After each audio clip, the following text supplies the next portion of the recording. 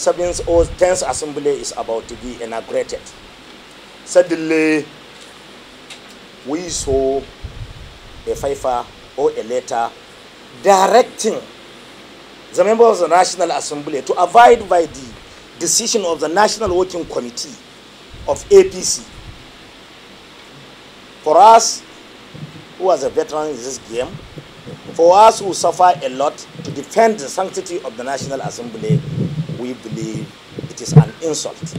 We thought the President and the APC will learn from their past mistake in the 7th Assembly, where President Jonathan intend to dictate to us where we will go in the selection of the Speaker of the House of Representatives. We say no. The Constitution, we must follow the rule of law and the Constitution. And even in the 8th National Assembly, Saraki Ike is a good example. We must do justice. What we are seeing today is new. There was no time in these 24 years of democracy where a political party, with the impunity of PDP in the previous days, there was no time they wrote a zoning and tied a name and sent it to the parliament. This is the first time we see this. We need to come and challenge it. If we follow it now, it means we are inconsistent of what we are doing before.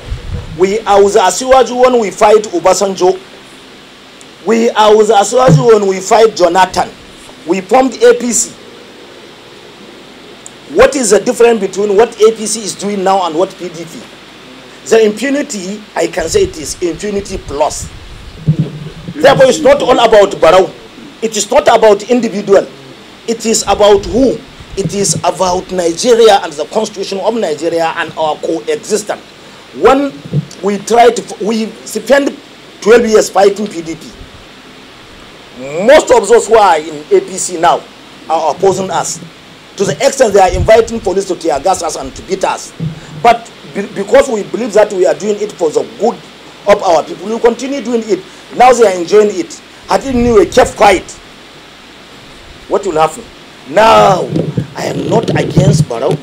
I am not against anybody. And I am not saying anybody is not qualified. What I am saying is the process.